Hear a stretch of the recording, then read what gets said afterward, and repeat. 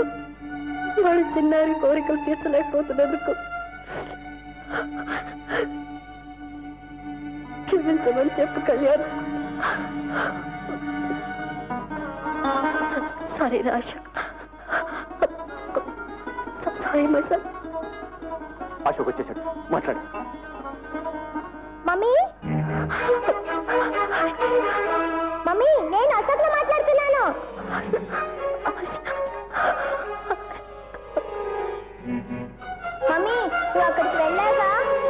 నన్ను మర్చిపోయా కాదు. సూత్రానికి జవాబు రాలేదు నాకెంత కోపం వచ్చిందో. నీతో మాట్లాడను. ఏంటి మమ్మీ? అలా అన్ననని కోపం వచ్చిందా?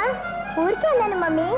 నీతో మాట్లాడకుండా నేను ఉండగలనా మమ్మీ మాట్లాడు మమ్మీ. మమ్మీ.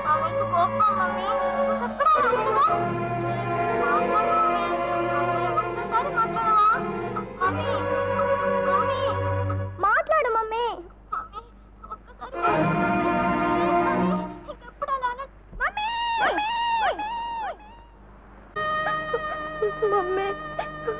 మమ్మీ కళ్ళు తెరవు మమ్మీ.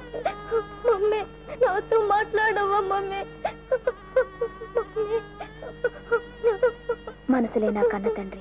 ఏనాడు ఆ పసివాడికి దూరం అయ్యాడు మనసున్న కన్న తల్లిని కూడా దేవుడు ఈనాడు దూరం చేశాడు. చూసారా ఆ దేవుడు ఎంత నిర్దయుడు. ఆడుకోవడానికి ఆ పసివాడే దొరికాడా? నువ్వు మాట్లాడు మమ్మీ. మమ్మీ కళ్ళు తెరవు మమ్మీ. మాట్లాడు మమ్మీ. వీళ్ళంతా నువ్వు చచ్చిపోయావు అంటున్నారు మమ్మీ. మాట్లాడు మమ్మీ. నీకేం కాలేదు. నిద్రపోతున్నావు అంతే కదూ? కళ్ళు తెరవు మమ్మీ. అమ్మా ఇప్పటికే ఆలస్యమైంది. జరగవలసిన కార్యక్రమం జరిపిస్తే బాగుంటుంది. పిల్లవాడిని పక్కకు తీయండమ్మా.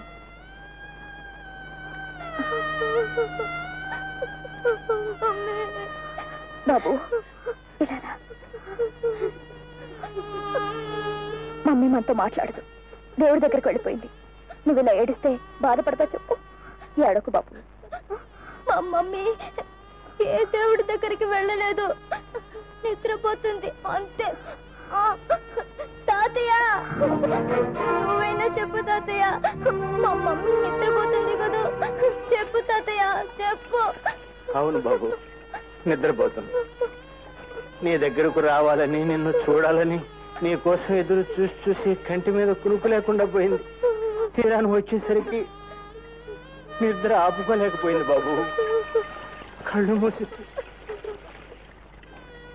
పెద్దమ్మా తర్వాత ఏం చేయాలి? చేయాల్సింది అంటున్నా. చేయడానికి కట్టుకున్న భర్తే దగ్గర లేడు కదమ్మా.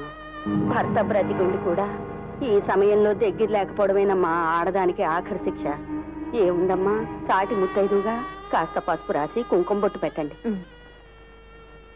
కోరి దేవుడు నన్ను మీ నుంచి దూరం చేస్తే ఆనాడు నన్ను పసుపు కుంకాలతో సాగనం తరగదు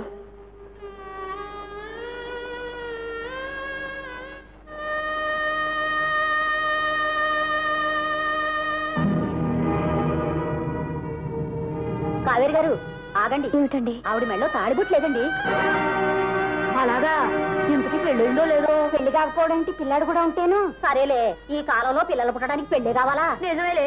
ఇటువంటి వాళ్ళని ఎంతమందిని చూడడం లేదు? అమ్మా నా బేబీని గురించి ఎంత ఘోరంగా మాట్లాడుకుందమ్మా కోరుకున్నవాడి సుఖం కోసం తన మెడను కోరి బోసి చేసుకుందమ్మా. నా బేబీది నలుగురు నవ్వే జీవితం కాదు. నలుగురు గర్వంగా చెప్పుకునే త్యాగమమ్మా అన్నీ ఉండి అంతటి త్యాగాన్ని అందుకున్న వ్యక్తి ఉండి కూడా ఈ స్థితిలో మీ చేత ఈ మాటలు అనిపించుకోవటం దాని దౌర్భాగ్యం. చూశావమ్మా బేబీ. నువ్వు చేసిన త్యాగం నువ్వు బ్రతికుండగానే కాదు. చనిపోయిన తర్వాత కూడా నీ చివరి కోరికకి ఎలా అడ్డుపడుతుందో. ఇది చూడటానికి అమ్మా నేను ఇంకా బ్రతుకున్నాను. బాబాయ్ గారు ఊరుకోండి ఊరుకోండి బాబాయ్ గారు. సాటి ఆడదాన్ని అనుమానించడం అవమానించడమే కానీ అభిమానించడం మా ఆడజాతికి తెలియదండి. వాళ్ళ మాటలు పట్టించుకోకండి. పవిత్ర చివరి కోరికను కాదనే హక్కు ఎవరికీ లేదు. ఆవిడ్ని పుడి స్త్రీగానే పంపుతాను. ఆగమ్మా ఆడది ఐదో తనంతో పోవటం దేవుడిచ్చిన వరం. అసలు మొగుడనేవాడు ఉన్నాడో లేడో చెప్పలేని మీరు. బొట్టు పెట్టడానికి తయారైతే దానికి మేము ఒప్పుకోం. అదేమిటండి? ఆడదానికి బొట్టు పూలు పుట్టుకతోనే సొంతం. అలాంటి బొట్టుని పూలని మధ్యలో వచ్చి తనున్నంత వరకే ఉంచి వెళ్ళేటప్పుడు తీసుకుపోయే అధికారం మగవాడికి ఎవరిచ్చారు? చూడమ్మా పూలు బొట్టు పుట్టుకతోనే వచ్చినా ఆడదానికి ఐదోతనం మాత్రం మధ్యలో వచ్చే ఆ మగాడు కట్టిన పసుపు తాడుతోటే వస్తుందమ్మా.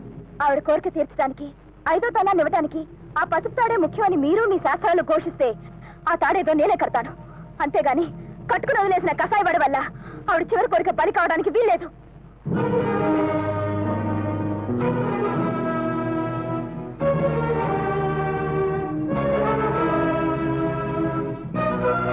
ఇదిగోండి మీరు కోరిన పసుపు తాడు.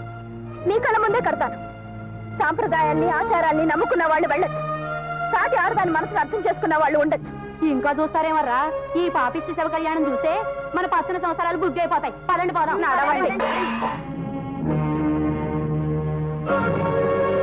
ఆగండమ్మా. పవిత్రను పాపాత్మురాలుగా వెలివేసి వెళ్ళిపోకండి.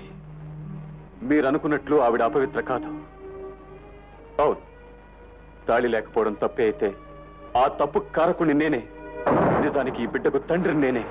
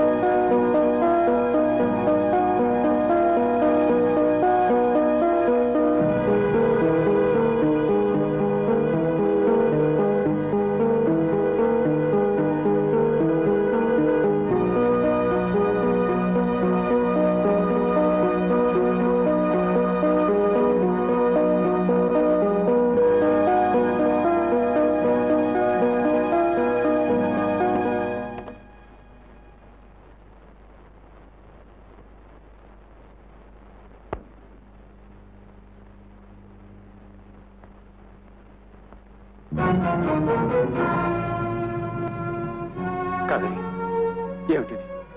నేను చెప్పేది విను. ఏం చెప్తారు? ఏ పాపం ఎరగనని ఏ తప్పు చేయలేదని. అంతేగా? ఆడది భర్త అనురాగానికి పిచ్చిదవుతుంది. బిడ్డలపై ప్రేమకు పిచ్చిదవుతుంది.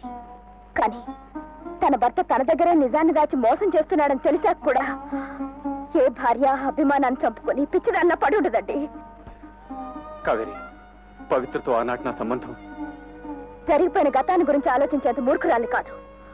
కానీ దేవత లాంటి పవిత్ర చావు బ్రతుకుల్లో ఉంటే కనీసం దగ్గరుండలేని మీ రాక్షసత్వంతోనూ కన్న కొడుకుని కొడుకు అని చెప్పుకోలేని మీలాంటి రాతి గుండుతోనూ ఇన్నాళ్ళు సంసారం చేసినందుకు నేను సిగ్గుపడుతున్నాను. ఆవేశంలో నిజా నిజాలు తెచ్చుకోకుండా నాది మోసం అంటున్నా నన్ను అపార్థం చేసుకుంటున్నావు. హ్మ్. జరిగిన దాంట్లో మీ తప్పేమీ లేదంటారు. మీకోసం కొవ్వొత్తులా కరిగిపోయింది పవిత్ర. ఆమె శవాన్ని పది మంది పది రకాలుగా అసహించుకుంటున్నా నీకేమీ సంబంధం లేనట్టు నుంచున్నారే? ఆ ఒక్కటి చాలండి. మిమ్మల్ని మీ నిజాయితీని అర్థం చేసుకోవడానికి. చనిపోయిన పవిత్రతో పాటు బ్రతుకున్న మిమ్మల్ని కూడా అంతమంది అన్ని నిందలు వేయకముందే మీరు ఆ మెళ్ళ పసుపుతాడు కట్టుండుంటే నేను చాలా సంతోషించేదాన్ని. ఇంకా మీ నిజాయితీతో నన్ను నమ్మించడానికి ప్రయత్నించకండి. ఎక్కడికి ఈ ప్రశ్నకు ఆడది సమాధానం చెప్పలేదనేగా మీ మగవాళ్ళ ధైర్యం? మగాడు లేకుండా ఆడది బ్రతకలేదనే రోజులు పోయాయి. ఆడది తన కాళ్ళ మీద తను బ్రతకలదని నిరూపించుకునే రోజులు ఇవి.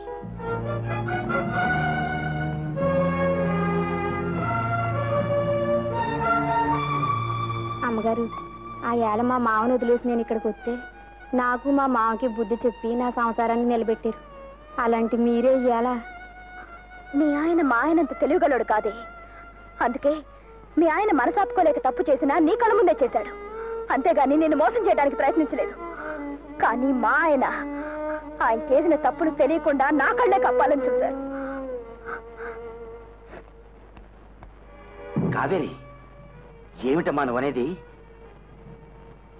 అవునన్నయ్య నేను ఆయనతో సంసారం చేయలేను. కావేరి తోడ పుట్టిన చెల్లెలే ఓ నాడు విడాకులు ఇప్పించన్నయ్యా నా ఇంటికి వస్తుందని తెలిస్తే నేను అసలు లా చదివేవాడినే కాదమ్మా. ముచ్చటైన నీ సంసారాన్ని చూసి